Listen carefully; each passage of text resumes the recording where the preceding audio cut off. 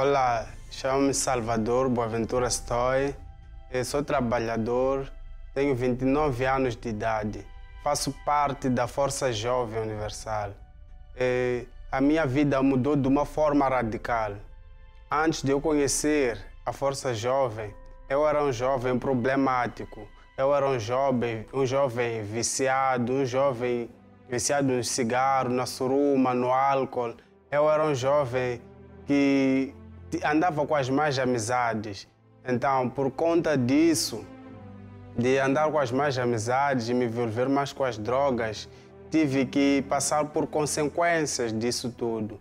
Porque ao andar do tempo, porque eu era um jovem viciado, e naquele momento que eu fumava, que eu, eu, eu bebia, eu ainda trabalhava. Mas por conta das drogas eu perdi meu emprego. Por conta do, do vício eu tive que perder, perdi o meu emprego. Então é, fiquei desempregado. Então quando fiquei desempregado me envolvi mais. Já me envolvi mais também com, com roubo. Então comecei a roubar coisas das pessoas, dos meus vizinhos na minha própria casa, por conta de, de roubo, de roubar até a própria minha família, tive que também eh, passar por consequências dentro da, da, da, minha própria família, porque meus pais já não me queriam ver por perto, eles já tinham medo de mim, que se eu chegasse em casa, eu ia roubar ou levar qualquer coisa para vender para eu poder alimentar os meus vícios. E os meus vizinhos também, eles também tinham medo que eu chegasse em casa deles, entrasse porque eu ia roubar qualquer coisa eu ia pedir emprestado algo e eu ia vender para alimentar os meus vícios. Então foi assim que a minha vida foi se eh, afundando. E o meu maior fundo do poço foi quando eh, me envolvi mais com roubo e cheguei até a ficar preso por três vezes. Quer dizer, três vezes são essas três vezes que me chamaram mais, mais atenção, porque de outras vezes eu fiquei mais já entrei muitas vezes na, na, na, na, na, na, na, nas celas, até os policiais, eles já me consideravam como uma pessoa já de casa, me chamavam que esse filho da casa, da cela, porque sempre eu fazia coisas erradas e ia para lá. Então, nas últimas três vezes, foi ali que foi o meu fundo do poço, porque só escapei por um pouco para, para poder já ser transferido para a cadeia central ou civil, não sei onde poderiam me transferir.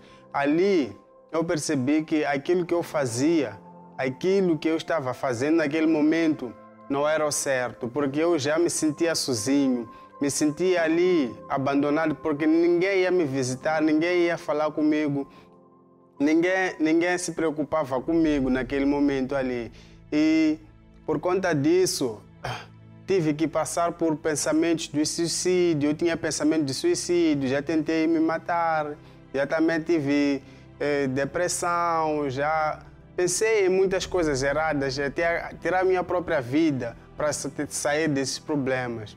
Mas quando eu fiquei lá preso, então um, um policial, ele me tirou sem mais nem menos da, da, da cela para casa.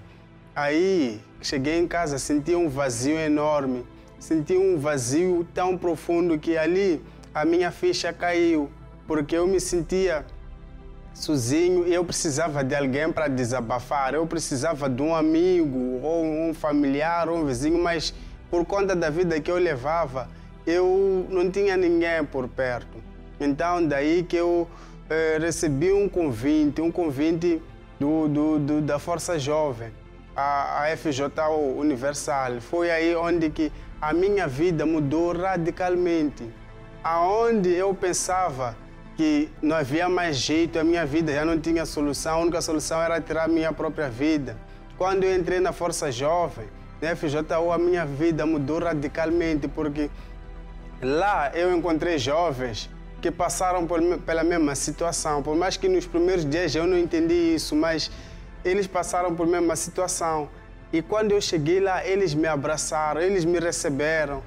Olha, que eu percebi que eu era muito importante no meio deles porque eles queriam me ver em todos os cantos. Eles, outro vinha me puxar para lá, para lá, para lá, porque eles, eu, olha, eu despertei ali, olha, afinal eu sou tão importante assim, até esses jovens lutarem por mim nesse momento. Então eu vi que nada. O que o mundo pensa lá de mim, lá fora, é diferente do que as pessoas daqui pensam de mim. Então fui me aprofundando já no grupo jovem, fui me libertando, aprendendo mais lá na Força Jovem, o certo e o errado. Então fui me libertando nas reuniões, fui aprendendo o que é que devemos fazer para nós nos libertarmos dos certos problemas. Então falou-se também do Espírito Santo, porque o Espírito Santo, no princípio, eu não entendia o que era. Muitas vezes eu ouvia essa palavra Espírito Santo, mas não entendia. Às vezes eu pensava, o que é esse Espírito Santo? Mas quando eu percebi que não, o Espírito Santo, para você receber o Espírito Santo, você tinha que se esvaziar, você tinha que largar tudo que te afasta de Deus, tudo que é errado. Então, no meu caso, eu tive que eh, buscar o Espírito Santo com toda a minha força. Eu me lembro que foi numa das reuniões da quarta-feira que o pastor disse que a pessoa que acha que se morresse agora iria para o inferno, venha para aqui à frente. Ele falou assim mesmo. Eu fui a primeira pessoa porque eu olhava para a minha vida e eu via que mesmo se eu morresse agora, nesse exato momento, eu iria ao inferno. Se eu morresse agora mesmo, eu iria ao inferno. Então, logo que o pastor falou isso, eu disse, não, eu entendi que não, eu tinha que ir para frente mesmo para eu poder me consertar com Deus. Então, foi ali onde eu abri meu coração para Jesus. Eu abri meu coração, busquei, falei tudo que, que me afastava de Deus que era o roubo, que era o engano, porque eu mentia muito também, eu enganava muito, eu fumava, eu era uma pessoa que olhava as pessoas com, com, com os olhos maus, eu roubava, então eu tinha que deixar tudo aquilo que me afastava de Deus para Deus poder entrar na minha vida. E foi daí que a minha vida mudou radicalmente, porque Deus nunca vai entrar num corpo onde está sujo. Então, o meu corpo naquele momento estava sujo das drogas, estava sujo das más amizades, estava sujo do roubo. O meu corpo estava sujo de, de tantas coisas erradas que eu fazia. Então, tive que largar tudo isso e foi daí que o Espírito Santo desceu sobre mim.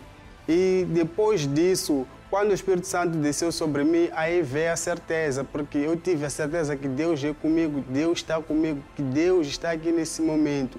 Então foi daí que a minha vida se, se, se transformou radicalmente, a minha vida foi mudada por completo, porque eu já não precisava mais, não preciso mais de, de, de, roubar, não preciso mais de andar com as más amizades para me sentir feliz, não preciso mais de fumar suruma, não preciso mais de beber para me sentir feliz. Não. E uma das coisas que me levou a buscar mais o Espírito Santo é também não para somente para mim, não, mas também para ajudar outros irmãos também que têm passado pela mesma situação.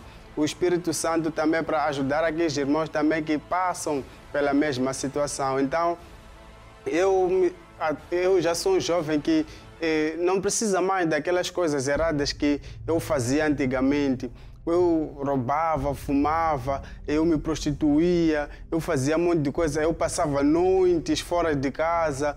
Então, por tudo isso eu deixei para trás, então entreguei a minha vida para o Senhor Jesus. Mas tudo foi com sinceridade, abri o coração de verdade para o Senhor Jesus. E foi assim que aconteceu que a minha vida mudou radicalmente.